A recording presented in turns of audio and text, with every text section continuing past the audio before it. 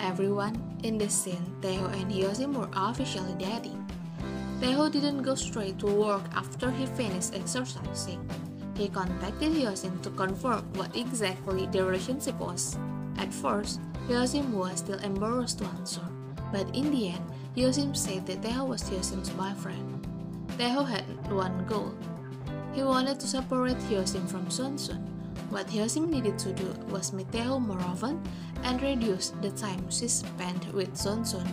Eat delicious food with Taeho and have fun with Taeho. I hope Taeho's goal can really be achieved. Hyosim has had enough to live by devoting herself to Sunsun. Okay everyone, that's the scene this time. Thank you for watching my video.